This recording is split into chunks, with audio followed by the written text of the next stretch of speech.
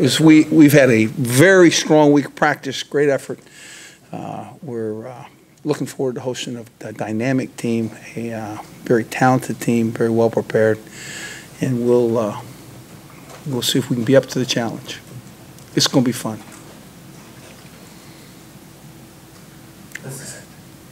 Where, where are you from? Are you like, you employed? Oh, no, I work, This is what I thought. See, if you find you'll change your luck about that employment thing if you don't wear red all the time. it, it helps, it's flat, has some navy in it, it's not solid. It looks nice. That's all I can say. Go ahead. Did Terrence Magee practice this week? He did. He's good to go. Good to go. I mean, um, he's probably, you know,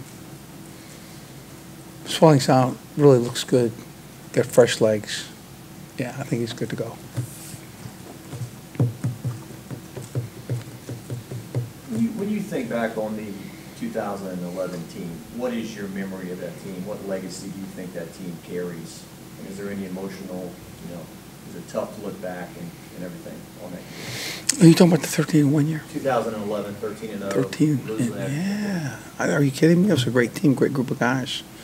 Um, They, uh, you know, sometimes those, those game plans that seem to be uh, just wonderful don't uh, come to fruition.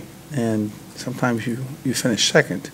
But that's not going to demean the fact that that team won a conference championship, won the West, and, you know, played in the national championship. You'd, you'd have to say, that, to me, they accomplished quite a lot. You know, I'd have to be honest with you. The, the only place I know where the, the uh, national champion um, didn't win the conference. I mean, let's just tell it the way it is. I mean, that was a very, very good team. I thought Bear agreed today. He said he felt, the team felt robbed after the game, the fact they had to play him again. And This is all him. Well, yeah, eh, you know, that's, those, those things are, you know, I, uh, I gave thought to when I answered the question, you know, should you play Alabama again? I gave thought to that, and it was the right answer. We wanted to play the best. We, we found the best.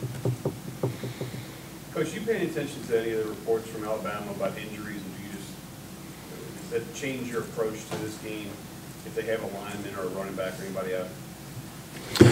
Um, not really. We, we anticipate that they have quality backups and will play the same style of game, you know, so.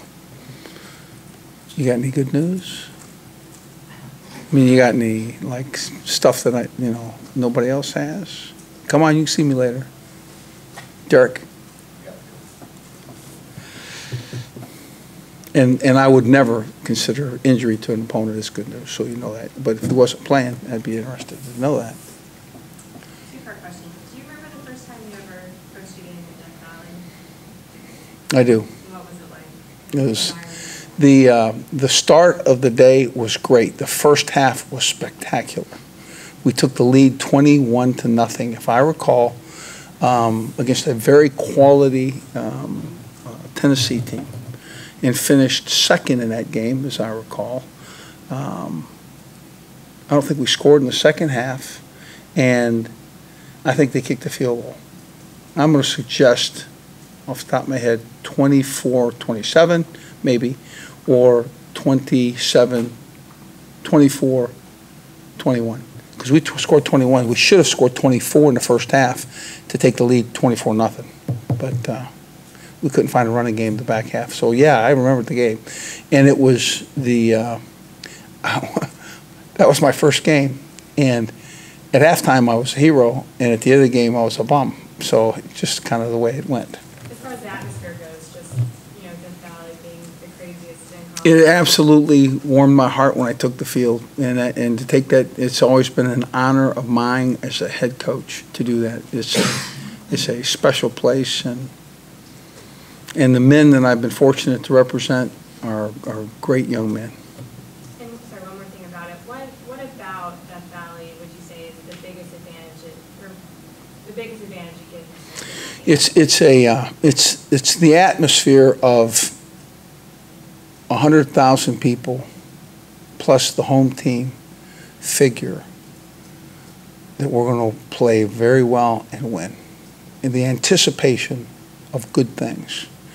Um, the crowd's level of uh, noise that's made, uh, the cheering, um, certainly boosts the home team and is a distraction to the, those teams that we visit. So, uh, and the people that are passionately attached to the home team, wow, special.